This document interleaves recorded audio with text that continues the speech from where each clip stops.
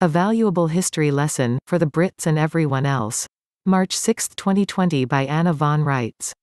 To begin with, you have to know what a commonwealth is and the roots of the institution. Essentially, the king gave the church grants of commonwealth land, typically wasteland, swamps, gravel pits, sour ground, peat bogs, etc., that the Roman Catholic Church then developed into any useful and gainful purpose to provide benefit to the community and provide support for the poor and the sick. Thus a partnership between the monarch and the church developed, the monarch relieved of the burden of both the wasteland and the poor, the church enriched by the potential resource and the labor of the paupers. This basic relationship between the monarch and the church was inverted under King John. He was called Lacklands because his father basically disinherited him in England and didn't give him any land of his own. The church stepped in to help him overcome this by offering him control of the church's commonwealth lands. This way, the monarch became the servant of the church, but he also regained control and ownership of title in trust to land. This is the relationship that has endured all these centuries, with the Church being the donor of the Commonwealth Trust and the King being the trustee and the poor and sick being the beneficiaries.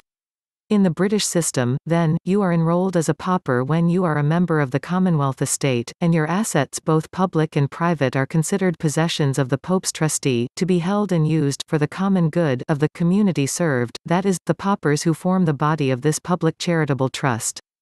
This is a form of Christian communism and it used to affect only the dregs of society, those properly identified as paupers and dependent on actual payments or stipends or food, housing, and hospitalization by the Church. It was under this system that the Church working with the monarch developed poor houses, orphanages, work homes, public works, hospitals, public schools, and many other institutions with which we are now all familiar. The Commonwealth was the first public-private partnership. While retaining the basic quid pro quo, the mechanisms of the Commonwealth changed in the 1600s after the Great Fire of London, during which a new and very lucrative scam was developed with the best of intentions albeit. In the wake of the Great Fire, chaos reigned and nobody knew what happened to the former owners of surviving property, nor did they return promptly after the inferno. Many simply removed to the countryside or joined relatives in other places. Some property was permanently vacated and had to be raised and cleaned up and cleared using funds from the king, by which he obtained an interest in the grounds. The Cestui Vie Act of 1666 created a form of false registry in which everyone not present was presumed dead. This was done as a means of moving forward and always with the admission that the owner might in fact show up and reclaim his property. This mechanism allowed the king to claim private property and redevelop it as he and his silent partner, the church, saw fit, and reinvest the profit from this, also as he saw fit. In this way vast amounts of property in the City of London were reclaimed from private ownership and used to enrich the monarchy, which then hired the British Crown to manage and develop the property for the public good. The modern municipal government was born. The Church remained the donor with actual control of all the assets, the king remained the trustee, and the poor, sick, and indigent remained the beneficiaries. If the Church found the king doing anything it didn't like, it could simply revoke the donation of the trust assets in question, but otherwise, the monarch remained their willing ranch hand and the public budget of the government burgeoned as the British Crown got more and more actively involved in procuring revenue under this arrangement. This initial circumstance proved so very profitable, that soon it was being used to seize upon the estates of any missing person and to confiscate private property of foreigners and various other targeted individuals, bankrupts, tax cheats, and so on, with the British Crown providing the revenue agents and warrant officers, being overseen by the Inquisition to keep them honest ha, ha, ha and the king being enriched by all the titles to property and his government receiving its due portion of the lucre generated by this activity. In this way, gradually, over time, the king re-established a claim to the land even if it was not true possession, only ownership, that is, a proprietary interest in the land as trustee, and was then able to re-introduce property taxes on the British people that would not have been possible under the original land grant to freeholders established under the Norman patents.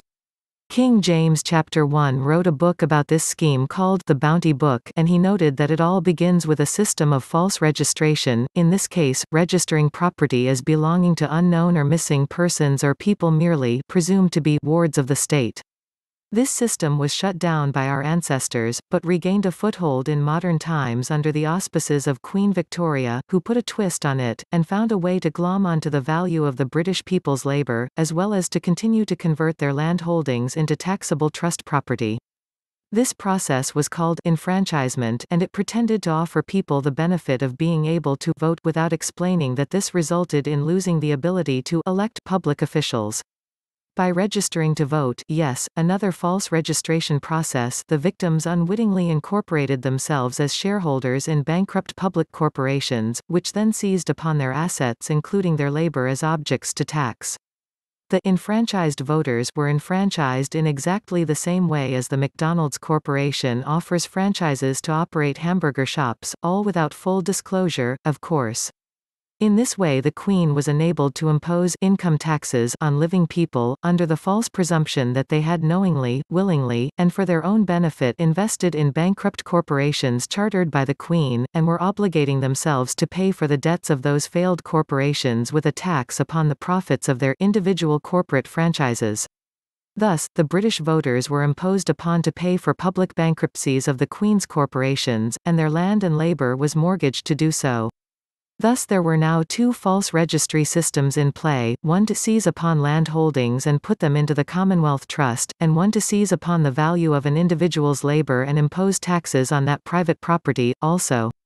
This has resulted in a system of what I call corporate feudalism in which the people are being bilked and enslaved by their own government, and the government is sharing the profits of this activity with the Pope, who, together with his organization, is benefiting from the unjust enrichment along with the Queen and the British Crown. We now know what has been practiced against us all, and it is only a matter of what we are going to do about it. Please consider making a small donation to help support Anna and the Living Law Firm, by visiting the AmericanStatesAssembly.net, scroll to the bottom and click on the Donate Now button. Thank you. If a donation is not possible, please create topic-specific playlists and share this important information with your social network. Thank you.